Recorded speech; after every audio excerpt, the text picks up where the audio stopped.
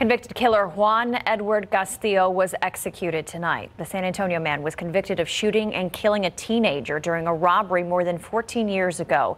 As Castillo was executed, his victim's family feeling a sense of closure and justice. The night team's Patty Santos tells us more about Castillo's last day and his last message before his death. Patty? Yeah, his final words were to thank everyone who has stood by him, telling them he will see them on the other side. But Castillo never apologized for killing Tommy Garcia Jr.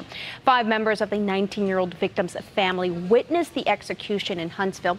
No one from Castillo's family was at the execution, but officials say they did visit him earlier in the day.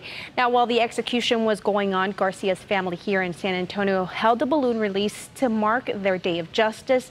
The lethal injection took 23 minutes to kill Castillo. Garcia's family waited so long, they say they have a weight that has been lifted from their shoulders. It was a difficult day for me and my family.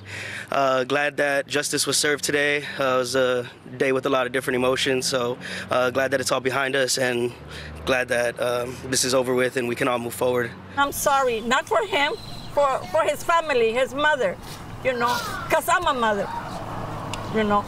And I feel that he got what he deserved, and I'm sorry for that. I can't forgive him. I'm not God. I can never forgive him. Castillo's execution date had been postponed three times. Now, during a 2005 trial, testimony showed Castillo's set up Garcia by luring him with drugs and sex. Now, when Garcia refused to hand over his cash, he was shot and killed. Three other people also involved in this were convicted and received prison sentences for their involvement in the murder.